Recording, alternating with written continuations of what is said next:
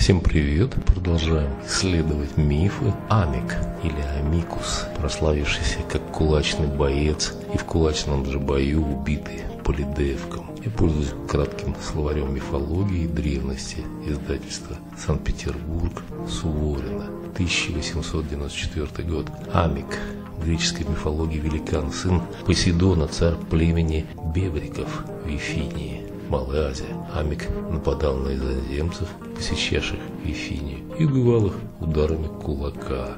Когда в ее страну приплыли аргонавты, Амик предложил любому из аргонавтов сразиться с ним в кулачном бою. Вызов принял Полидевк, убил его. Согласно другому варианту мифа, Полидевк пощадил Амика. И, одержав победу, взял с него обещание впредь не нарушать законов гостеприимства и не обижать иноземцев. Вот так вкратце о Амике, царе Бебриков, прославившийся как кулачный боец и в кулачном же бою убитый Полидеевком. Все, пока-пока, до свидания. Смотрим картины, которые я нашел в интернете. Пока-пока.